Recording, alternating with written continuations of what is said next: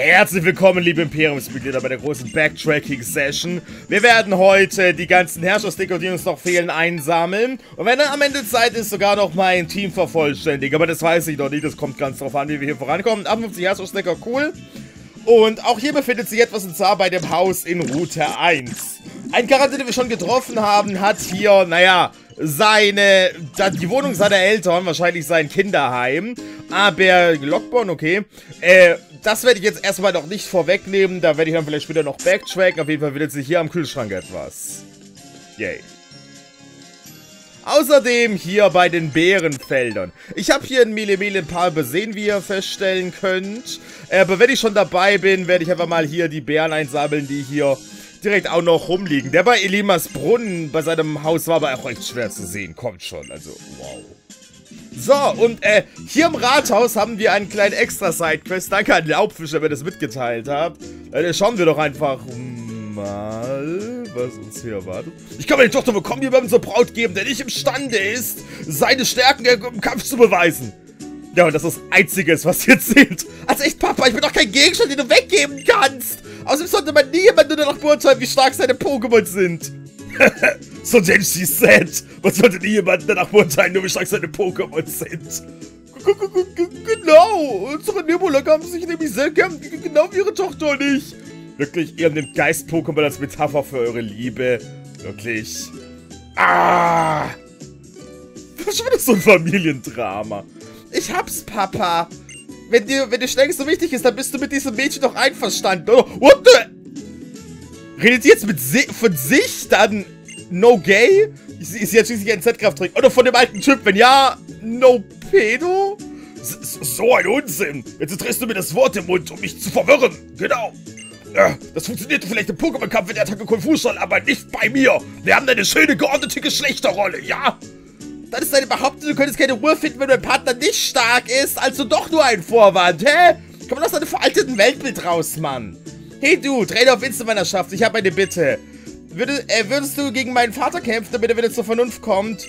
Äh, ja, merkwürdige Frau, die mir gerade einen Heiratsantrag gemacht hat. Danke. Das ist so geil. Also sowas, das ist jetzt so meine Tochter, ganz schön verrückt. Äh, das kannst du wohl laut sagen. Ich habe schließlich früher auch mal die Inselwanderschaft abgeschlossen. Okay, zeig mir, was du kannst. Dann erwarte ich jetzt aber schon Pokémon um Level 70 herum. Wenn du, wenn du, wenn du schon laberst, dass du die Inselwanderschaft abgeschlossen hast und irgendwie 53 bist, dann erwarte ich jetzt schon Pokémon auf Level... Und du hast ein Pokémon und zwei Dummisel. Welches auf welchem Level noch gleich ist? 14. Wenn du mir sagen willst, dass du die Inselwanderschaft mit einem Dummisel auf Level 14 abgeschlossen hast, dann lügst du entweder oder das Niveau war davor katastrophal. Also so, dass die Levelkurve in Heart Gold und Soul Silver wie, die, wie Dark Souls wirkt. Im Vergleich. Also von daher, ähm, weiß ich nicht ganz, was ich davon halten soll, aber okay. Irgendwo tief mit drin habe ich mir wahrscheinlich gewünscht, dass ich verlieren würde. Und deswegen klatschst du jetzt.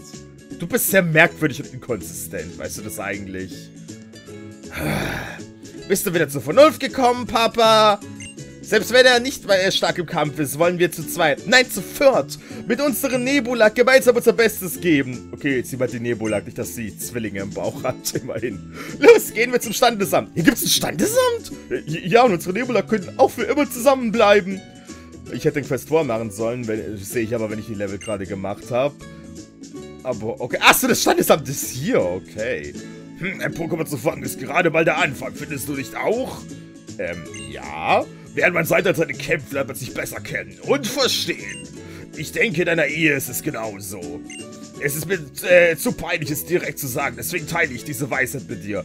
Danke, random Mann, der fast ein Schwiegervater geworden wäre. Ach, übrigens, hier ein glitzerndes Nugget. Hey, danke. Cool. Immer diese Familientraum, das ist echt... Auch wenn die Anima Okay, äh, es gibt zwei Meinungen, die ich dazu habe. Das ist eine echt schöne Szene, muss ich sagen. Tja, ich frage mich, ob ich bei der Hochzeit lächeln kann. Andererseits, wenn die beiden gemeinsam mehrere Nebula gegen mich einsetzen würden, dann könnte ich bestimmt nicht gegen sie gewinnen. Ja, zwei vs. 1 ist auch... Moment, du hast einen Dummiesel! Das würde ein ziemlicher... ziemlich unausgeglichenes Match werden, weil sie könnten dich nicht treffen, du könntest sie nicht treffen. Er würde euch mit Verzweifler weghauen müssen, also ja. Die Stadt sauber zu halten und für die Angestellten des Pokémon Centers zu unterstützen, zählen auch zu den Aufgabenfelden des Rathauses. Ich weiß nicht, ob ich das schon erkundet habe. Wenn sich unsere beiden Nebulak entwickelt haben, werden wir sie auf jeden Fall miteinander tauschen. Hey, das ist eine gute Idee, mach. Man die Attacke Geschichte oder Gesicht oder Schnüffel einsetzt, kann ein Pokémon von Typ Geister von normalen Attacken getroffen werden, ich weiß. Ich arbeite gerade an der Stadtplaner. Mein Ziel ist es, den Lebensstandard der Menschen und der Pokémon zu verbessern. Weil an sich sollte hier ein Herrschersticker sein, ähm, wenn ich den schon habe. Im Rathaus Dokumenten nachzujagen, erinnert mich ein bisschen an alte Videospiele. Ja, Klukluland oder so. Aber hier scheint kein Herrschersticker mehr zu sein, deswegen war ich wahrscheinlich schon hier und es hat sich dann erst vielleicht nach dem Kampf oder nach der Prüfung freigeschaltet. Was gibt es Schöneres als fröhliche Kinder und Pokémon? Ich wünschte, man würde auch Hinweise bekommen, dass diese Sidequests da sind, damit man sie nicht so spät findet wie ich. Bänder sind wie Erinnerungen, die man seinen Pokémon anschickt. Angeblich gibt es auch außerhalb der Alola-Region verschiedene Sorten. Bänder sind aber irgendwie epischer, vor allem die Sinnoh. Ich mag die Sinnoh. Hier im Rathaus kümmert man sich darum, die Straßen unserer Stadt in Schuss zu halten, damit sie für Pokémon wie Pokémon begehbar sind. Okay, das war's dann hier. Äh, kann ich deinen Trainerpass sehen? Ah, du bist doch Jess. Stimmt, sie hat deine Anmeldung bearbeitet. Du bist da mit deiner Mutter und deinem äh, Mauzi hergezogen, richtig? Alola Mauzi. Bist du schon eine Mauzi aus Alola begegnet? Die sehen ganz anders aus als sie aus Kanto. Nein, mein Mauzi versucht sie an Gewinn, es sei Alola Mauzi. Das war nicht David. Heute ist es, ist es aber spät. Es ist aber spät dran. Hast du einen Zwischenstopp eingelegt? Es? Togel. Ach so, oh. Hi, Santa. Dieses Portugal gehört zum Eigentümer der Bärenfelder. Äh, es hilft bei der Auslieferung der Bären, die auf den Feldern geerntet werden. Hey, das ist ja mal interessante Lore, die hier gedroppt wird. Boto! Gute Arbeit, ich nehme dir die Bären ab. Togel! Ha! Alter Daus, das ist aber, das ist aber keine Beere. Hier, nimm es wieder mit nach Hause. Etwa, hast du das etwa unterwegs gefunden? Äh, Togel? Togel! Das Muttergekramm ist aus seinem Schweif hervor und hält es dir vor die Nase. Ich weiß nicht, ob ich das will, aber gib mal her. Moment, Schweif? Mein Sägesang. Das ist, der Sack ist ein Schweif, aber hey, Sägesang, wie episch. Das hätte die sowas von Stami geben, glaube ich. Wenn einmal ein paar Bären übrig sind, schlingt Botogel sie mit einem Haps hinunter. Aber Sägesang ist wohl nicht ganz sein Fall. Äh, jetzt sind wir wieder äh, für eine Weile mit Bären versorgt. Oh, wie cool. Ähm, Sägesang hat halt den riesigen Vorteil und auch gleichzeitig den Nachteil, je nachdem, dass man immer die äh, Items in Proportion, oder die äh, KP, die aufgehalten wird, schon immer in Proportion zu dem, äh, zu dem Schaden, den man macht. Deswegen ist es bei einem Sweeper wie Starmie, glaube ich, ein bisschen besser aufgehoben als bei einem defensiven Pokémon wie Sankabu. Sankabu werde ich dann eher Überreste geben. Ähm, ja, hier war ich den Bata Ja, ich, ich glaube, Starmie ist wirklich am besten. Es ist halt das Ding, weil Starmie nicht so hohe KP hat, ob sich das Sägesein wirklich lohnt. Das lohnt sich ja eher, wenn man hohe KP hat, aber ich glaube, in dem Fall kann man das schon machen. Ja. Und dann schaue ich mal, wie das in Zukunft weitergehen wird. Aber ich glaube, hier bin ich dann soweit fertig, yay. So, damit sind wir nun auf Akala. Äh, wo... Hey, unser Treffen ist 30 Jahre... Ach so! Oh, an den Sidequest konnte ich mich gar nicht erinnern. Wie mein? Aber ja, doch, das bin ich. Äh, vielen herzlichen Dank. Ach, ja, stimmt. Das Hotel Meeresrauschen, ja? Okay, äh, alles klar. Da müssten jetzt aber noch ein paar mehr sein. Ich habe doch keine Ahnung, wo die sein sollen. Naja, ich hole mir mal den Herrschersticker und cool. Hier, etwas Süßes für dich. Damit kannst du deinen Puppen deine Freude bereiten. Ähm, danke für das Sonderbonbon. Ich dachte, ich habe mit dir schon geredet. Das ist ein Sonderbonbon. Ist es, ist es... Heute Morgen fand ich auf einmal einen Silberkronkorken vor der Tür. Damit will Wulpix gewiss seine Dankbarkeit zeigen. Du solltest ihn an dich nehmen. Ähm, danke. Ich bin etwas verwirrt, dass ich das noch nicht gemacht habe. Das Wulpix hat sich hier nicht mehr blicken lassen. Es wird jetzt nicht gewiss vor diesen Schuften von Team Skull. Andererseits war es dank dir, der, äh, weiß es dank dir, dass es auch gute Menschen gibt. Ich glaube, es fällt sich ja vor den schlechten Deutsch von ihnen. Aber weißt du, taucht es dir wieder auf. Ha, muss vielleicht später mal wieder vorbeischauen. Aber, äh, Gut, das sind, das sind so Sachen, die finde ich ganz zufällig. Die suche ich eigentlich gar nicht aktiv. Okay, hier im Battle Royale befindet sich ein Herrschersticker, nämlich Nummer 62. Und hier auf der, naja, äh, beim Wähler Vulkanpark unter dem Felsen hätte ich auch sehen können, weil das ist relativ häufig so. Nummer 63. So, äh, nicht zu vergessen, hier beim Fossilienlabor Nummer 64. So. Und hier bei Mylas Haus befindet sich Nummer 65. Wenn ich schon hier bin, kann ich mich doch kurz mit dir unterhalten. Ich bin auch noch eine ganz gewöhnliche Frau. Inselkönigin ist nicht weiter als ein Titel. Okay. Das ist ein bisschen assi zu sehen, oder? Ähm, ich meine, gut, äh, wenn man dann sich in die Ecke stellt, das sieht man schon, aber muss man dann auch erstmal hinkommen. Und dann, ja, kann man das Ding herangeln, was man nicht wirklich sieht. Uh, hier ist wieder irgendein Sidequest oder so. Es starrt mit traurigen Augen zum Meer. Äh, siehst du das, Goofer, mit dem sentimentalen Blick da drüben? Es ist unübersehbar. Sein Name ist Gufeo. Er, er vermisst seine Geliebte. Okay. Gufeos geliebte Gufia wurde eines schicksalsschweren Tages von einem übermütigen Gufa-Schulter ins Meer geworfen. Ups. Zudem hat sie, hat sie, hatte sie die wieder gesehen und haben Gufio statt unterbrochen das Meer an. Ey, geil. Gugu. ich weiß genau, wie Gufeo sich fühlt. Ich habe etwas sehr ähnliches durchgemacht. Deshalb lässt mich die Geschichte auch nicht los. Was? Dein Freund wurde ins Meer geschleudert? Hm, vielleicht wurde Gufia ja mittlerweile wieder an diesen Strand gespült. Sie ist an einem markanten, ihrem markanten Ruf erkennen. Klingt ungefähr so, Gufu, würdest du mir Gefallen tun, mit mir nach jetzt zu suchen? ist das... okay, das ist... Das ist einfach nur lustig, weil... Erinnert euch noch den Sidequest, wo wir gezwungen waren, ähm... Gufa wechselt schon zu einem diesen Herrscherstick geholt, Nummer 67, aber... LOL? Ich würde dich ja lieben gerne wieder, ähm wieder helfen, aber dieses einzelne Berufer geht mir nicht aus dem Kopf. Genau, da bin ich nämlich erst drauf gekommen, dass diese Side, dass sie diesen Side-Quest machen sollte. Ah, hallo? Gufufu! Ah, der klingt genau wie der von Gufia. Willst du es zu Gufeo bringen? Jo.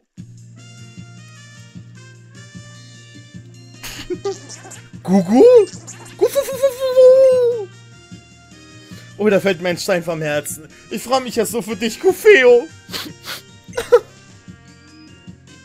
Goofers sind wirklich ein Phänomen für sich. Ich merk's. Du siehst, wohin du sie, äh, du siehst, wohin du siehst, nur Goofy hier am Strand. Wirft dieses, wirft dieser sie ins Meer, findet jeder sie am Strand. Oh, ich bin so ergriffen, dass ich schon zu dichten anfange. Hier, das ist für dich. Ähm, war das so ein Gru... war das so ein, was jeder Morgen auf was reißt jeder Morgen ein? Goofy und Goofy. Ich hoffe, ihr findet das Glück, das mir nie vergönnt war. Wow. Gugu, Gufufu. Oh, ein Gufa. Und...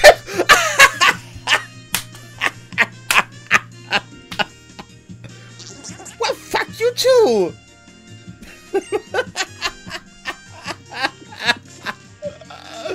okay, das ist episch. Lol. Okay, kann ich, kann ich Gufa einsammeln. Das war einfach nur hammerlustig. Und äh, es gibt so zwei Meinungen, die ich zu diesem ganzen Sidequest-Dingern habe. Ich finde, sie sind unheimlich schön. Die haben einen unheimlich schönen, ähm, emotionalen, menschlichen Moment, den man immer zwischen diesen Sachen sieht. Wie gesagt, ich wünsche mir, man würde irgendwie wissen, dass man diese Sidequest jetzt machen kann oder sie wären gleich verfügbar, wenn man dorthin kommt. Aber ansonsten super toll. Was ich mir für zukünftige Generationen wünschen würde, ist natürlich, dass man sie wieder einbaut, aber dass man sich vielleicht ein bisschen mehr Mühe, Mühe bei der Animation gibt. Denn die Animationen, muss man wirklich sagen, sind echt nicht gut in diesem Spiel dafür dass es auf dem 3DS erschienen ist, wäre wesentlich mehr möglich gewesen. Sie machen nämlich immer nur die gleichen Bewegungen. Entweder man sieht sie oder man sieht, wie sie die Hand nach vorne strecken. Das sind scheinbar die einzigen normalen Bewegungen und Animationen, die die können.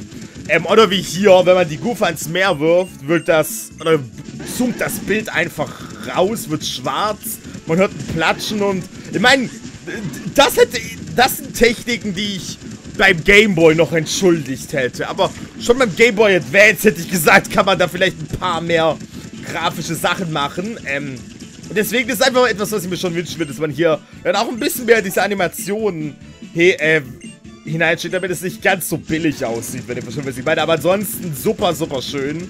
Gefällt mir echt gut. So, und ich bin jetzt äh, 20.000 reicher. Sehe ich das richtig?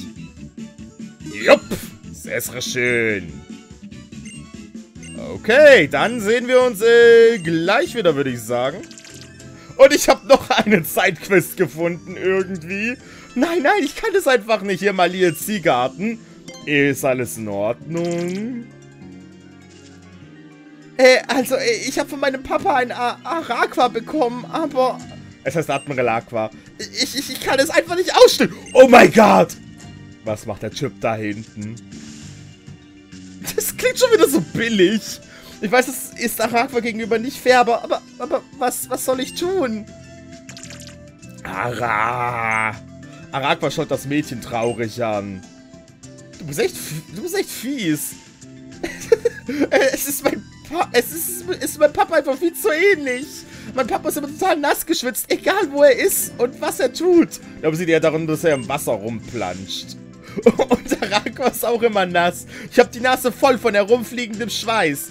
Du kennst den Unterschied zwischen Wasser und Schweiß, aber... Also... Also zumindest bei Süßwasser und Schweiß. Die Wassertropfen glitzern im Licht. Ah! Nein, nein. typ! Du, da hast du es gesehen schon wieder. So werde ich mich nie an Arakwa gewöhnen. Es, äh, was soll ich da tun? Äh, ja, kämpft gemeinsam, würde ich sagen. Arakwa nicht? Zusammen? Das, das, das, könnte eine gute Idee sein. Wenn wir unsere Kräfte vereinen und gemeinsam einen Kampf austragen, entsteht vielleicht ein Band zwischen uns. Ich werde es versuchen. Gerade konntest du es nicht ausstehen. Hey, kann ich dich bitten, unsere, unser Gegner zu sein? I guess. Dann legen wir mal los, Arakwa. Also, das bestätigt im Prinzip fast schon den Punkt, den ich gerade gesagt habe, weil diese Animation von dem Typ hinten ist unglaublich, unglaublich lustig, aber einfach, weil es so inkompetent gemacht wird. Also, wirklich so, als würde ich Photoshop nehmen, den normalen Trainer-Sprite nehmen, ein Fleckmon drauf photoshoppen und dann irgendwie mit dem ganz billigen Ton einfliegen lassen. Genau das wirkt es. Also kommt Gamefreak, da wäre auf dem 3DS echt mehr möglich gewesen. Und das ist wirklich die Hardware-Limitation, die wir hier erreicht haben. Deswegen sollen sich mit dem Nintendo für die Switch schön viel Zeit lassen, damit wir dann auch tatsächlich ein schöner animiertes Pokémon sehen. Ich bin nicht der Meinung, dass es das braucht, ja. Pokémon hat auch davor wunderbar ohne funktioniert, aber wenn man schon solche wunderschönen kleinen Sidequests macht, dann soll man das doch nicht versauen, indem man indem man sich absolut null Mühe bei den Animationen gibt. Versteht ihr, was ich meine? Aber das soll jetzt nicht negativ sein, weil ähm, da echt coole Sachen dabei sind.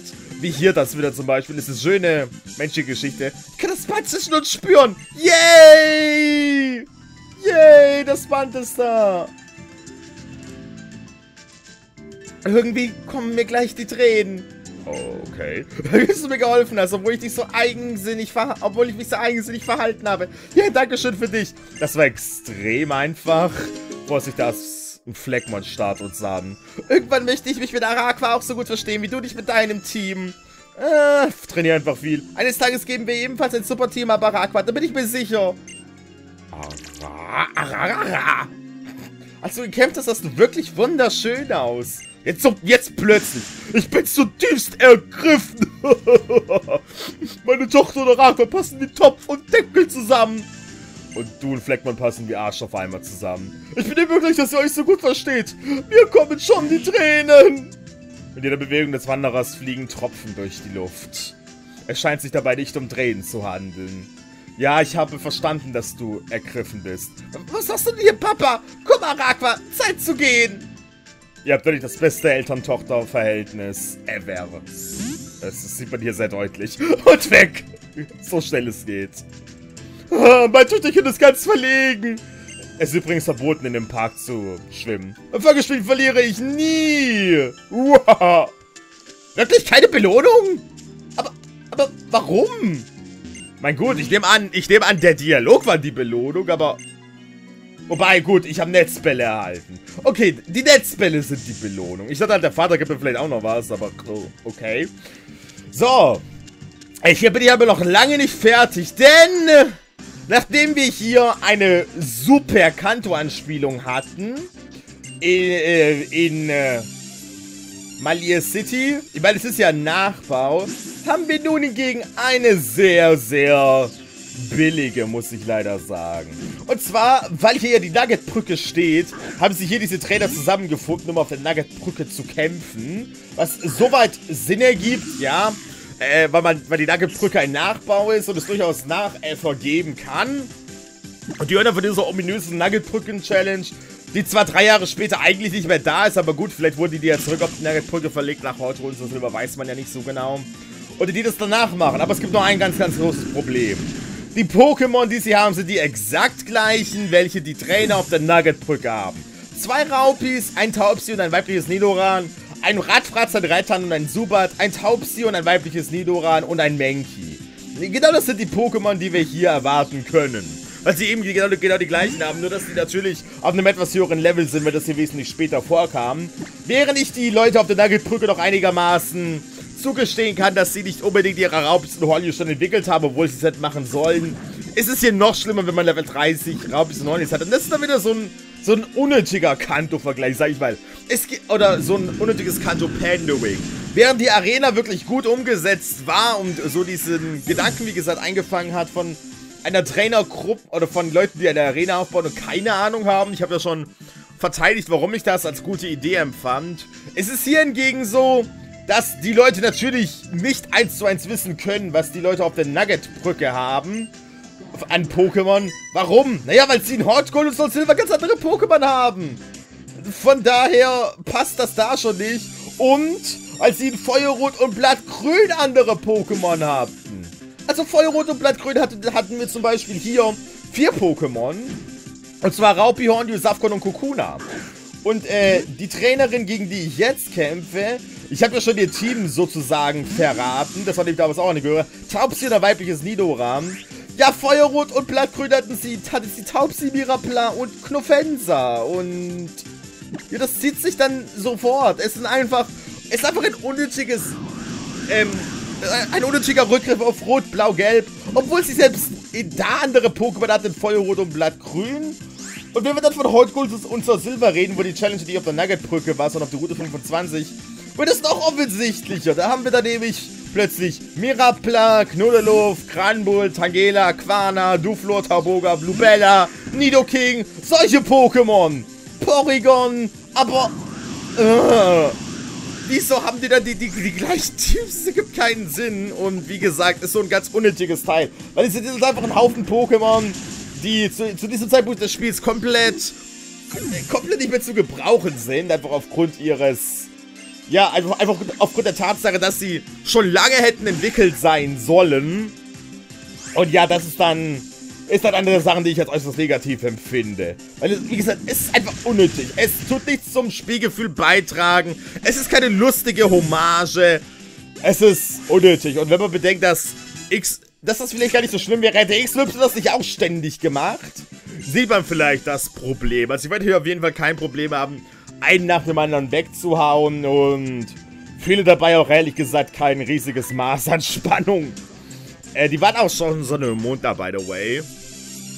Ich muss aber immer eine Sache sagen, und zwar, dass der Witz am Ende vielleicht dass ich sehr mit dem Witz am Ende gespannt bin. Aufgrund einer Tatsache, die, die in diesem Spiel vorkommen wird. Aber das sehen wir dann. Ich will mich auf jeden Fall entschuldigen, weil ich werde heute wahrscheinlich jetzt... Also, was heißt wahrscheinlich? Ich werde es heute nicht mehr schaffen, die Prüfung zu absolvieren. Wie ich es eigentlich das letzte Mal gesagt habe, dass wir heute die Prüfung machen werden. Das wird definitiv nicht mehr hinhauen, weil wir sind schon bei 23 Minuten, haben noch ein paar Trainer vor uns. Von daher sind wir hier erst einmal gefangen. Das bedeutet, es gibt immer noch die Möglichkeit für mich, Sankabu ein bisschen zu trainieren, weil ich werde ihn im Kampf gegen das nächste Jahr schon Pokémon definitiv benötigen.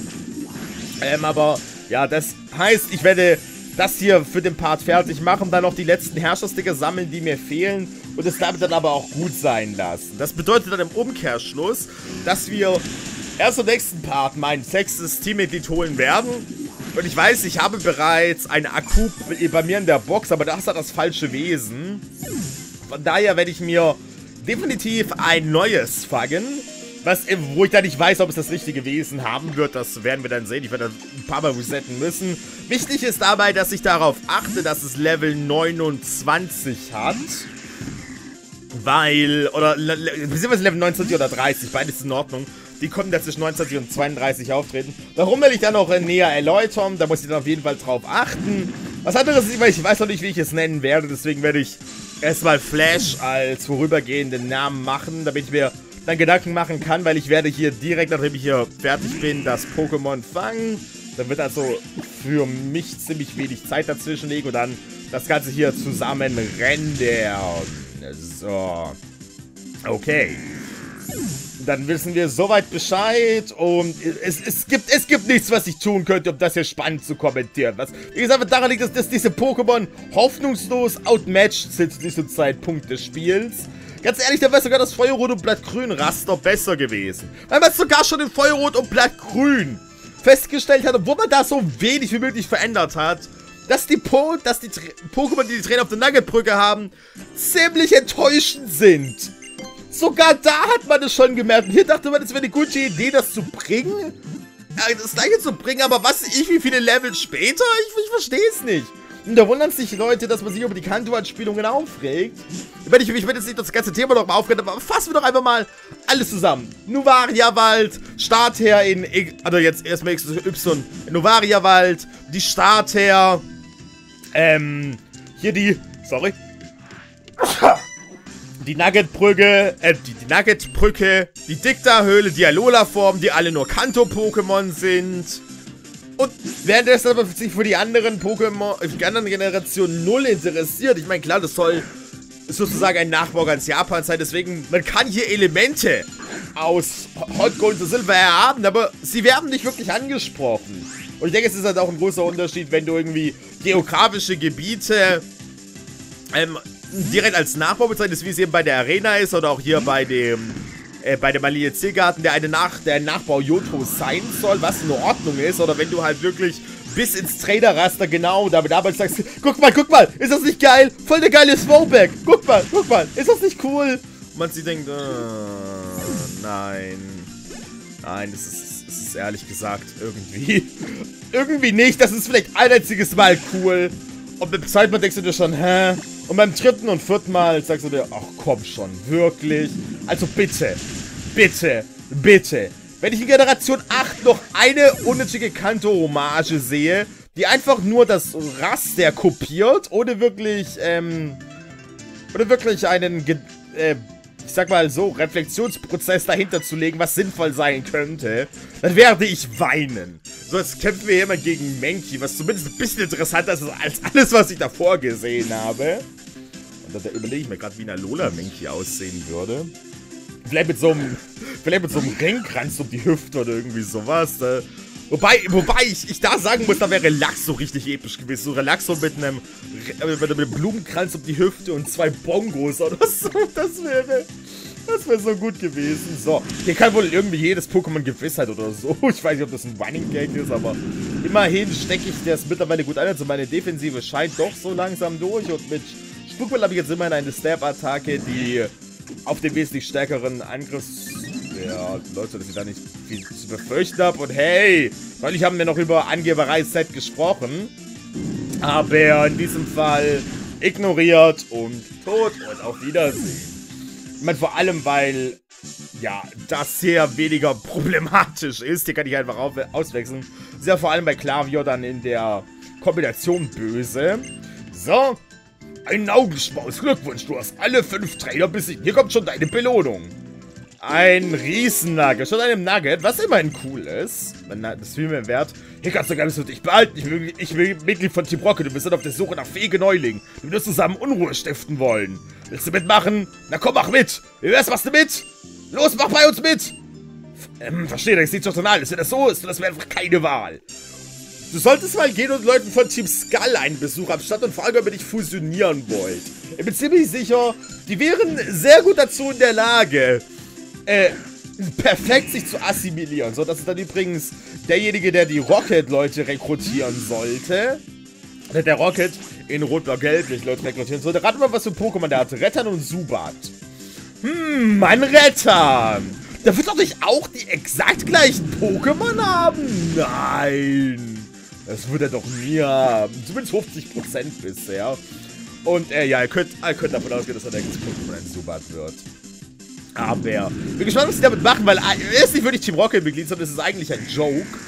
Aber, wenn die, wer die neueste Ankündigung gehört hat, bevor Pokémon unter Sonne unter Mond erscheint, der weiß, dass da noch was anderes passiert. Und natürlich ist es ein Subat. Damit hat auch der sechste Trainer hier das exakt gleiche das, das exakt gleiche Raster.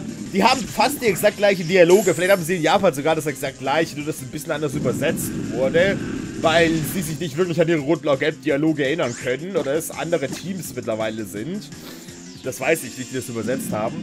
Muss ich mir mal im Japanischen genau anschauen, ob das wirklich die exakt gleichen Dialoge sind oder ob es jetzt ein bisschen abgeändert hat. Auch dort schon, das weiß ich nicht. So, auf Wiedersehen, Zubat. Und damit wäre das hier erledigt. Und ein Level 35, immerhin. So, und jetzt bin ich auf den Dialog. Da, da bin ich wirklich drauf gespannt, muss ich sagen. Boah, du bist echt stark. Also. Was hast du? Mit deinem Talent könntest du eine richtig große Nummer bei Team Rocket werden. Äh, Verschwendung ist das, sag ich. Team Rocket gibt's doch seit Jahren nicht mehr. Jetzt würde ich glauben, wir wollen dich rekrutieren. Wir haben so einen kleinen Spaß erlaubt. Was frage ich mich, was der ehemalige Boss von Team Rocket Giovanni gerade so treibt. Okay, das könnte als Foreshadowing gesehen werden. Interesting. So, was ich aber eigentlich diese gesamte Zeit über machen wollte, war, ich wollte nur hier nach oben, um den Herrschersticker zu holen. Ja, das war eine sehr große... Den, ein sehr großer Umweg, besser gesagt. Seit ich euch mit dem Satz abgeschnitten habe. So, wir kriegen jetzt ein Mantidea als Herrscher-Pokémon. Episch. Und jetzt werde ich dann direkt zu meiner Box senden. Damit hätten wir ein neues Ziel, was unsere Herrscher-Pokémon angeht, erreicht. Ich weiß jetzt nicht, ob es noch etwas gibt, äh, Herrschersticker gibt, den ich einsammeln konnte, ich, den ich noch nicht habe. Ich werde mir das gleich mal hier anschauen. Es tarnt sich zu seinem eigenen Schutz als Käfer-Pokémon. Die Blütenblätter seinen beiden Armen sind scharfkantig. Ja, das passt von der Beschreibung her ziemlich gut. Äh, ich nenne es Weibchen. Ich werde das Ding einfach mal selber nennen, nehme ich an. Komplett ohne Reflexion, einfach so, weil ich gerade drauf kam. Okay, dann äh, sehen wir uns vielleicht gleich wieder, vielleicht auch nicht, wer weiß. Äh, ja, Dankeschön. Okay, ist gut. Ach so, äh, okay. Das nächste Mal bei 70 oder 80, ich weiß es nicht genau. Okay, dann werde ich diesen Part damit abschließen, dass ich mein...